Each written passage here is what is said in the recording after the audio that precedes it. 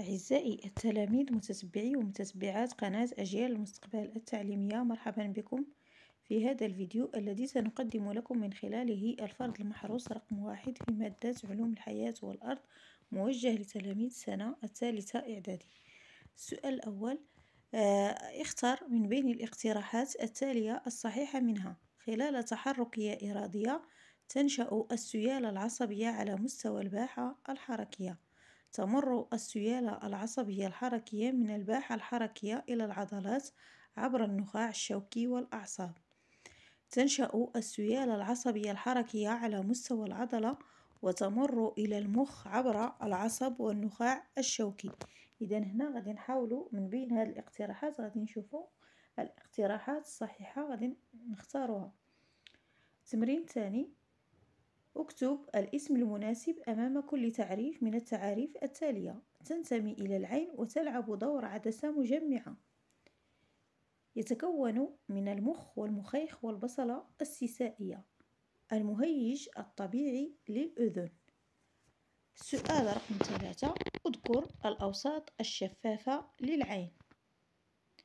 بالنسبة للتمرين الثاني قام عالمان بتجارب إهاجة القشرة المخية لكلب مبنج باستعمالهما لتيار كهربائي ذي شدة ضعيفة 4.5 فولت وتبين الوثيقة واحد لاحظوا معي الوثيقة واحد مناطق القشرة المخية المهيجة كما يوضح الجدول أسفله النتائج المحصل عليها.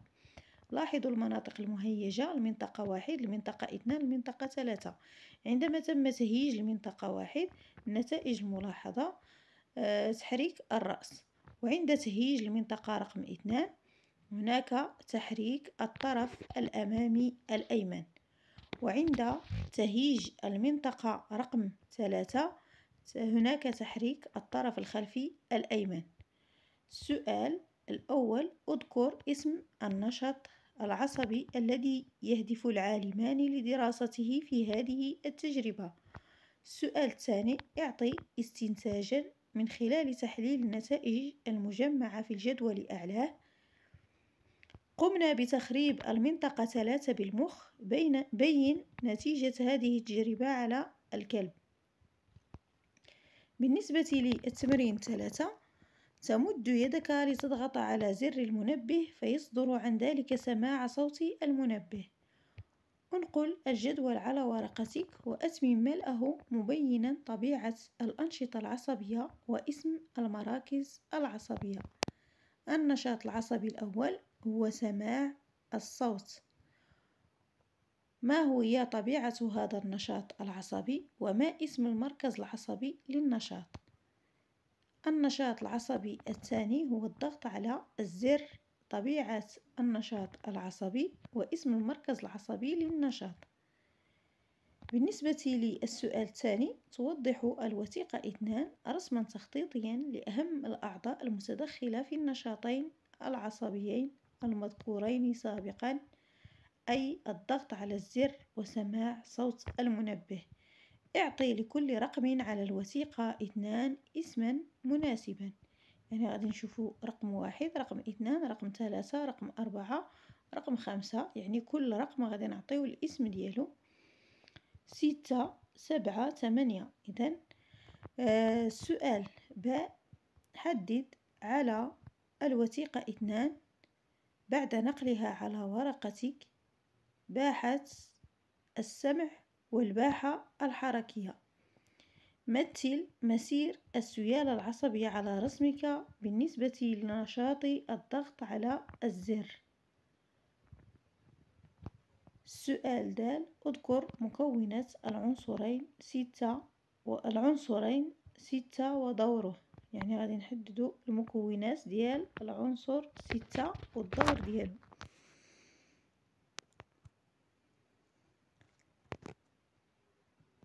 الآن غادي ننتقلوا للإجابة على هذه الأسئلة. خلال التحركية الإرادية للأجو إلى الاقتراحات الصحيحة بالنسبة للتمرين الأول أو السؤال الأول في التمرين الأول تنشأ السيالة العصبية على مستوى الباحة الحركية. وتمر السيالة العصبية الحركية من الباحة الحركية إلى العضلات عبر النخاع الشوكي والأعصاب. السؤال الثاني اكتب الاسم المناسب أمام كل تعريف من التعاريف التالية. تنتمي إلى العين وتلعب دور عدسة مجمعة. إذا البلورية يتكون من المخ والمخيخ والبصلة السيسائية الدماغ. المهيج الطبيعي للأذن هو الصوت.